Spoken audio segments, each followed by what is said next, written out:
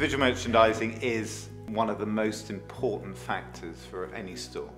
It's the shop window is your uh, first impression that you give to the consumer walking down any high street. It has to deliver something which is better than your competition. So your job is to deliver something with meaning, with purpose, in a short space of time. It is important that you keep it simple.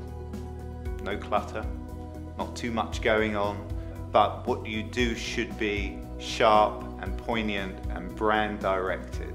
You need a little bit of style in there in whatever you do, whether it be graphic, whether it be a mannequin, whether it be a prop. So the shop window of tomorrow would, from the outside, in my opinion, look the same as the shop window of today. The only difference is it will be connected.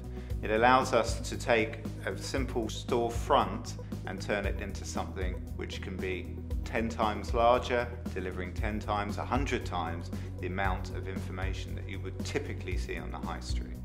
Iconome is the company behind the VM Beacon.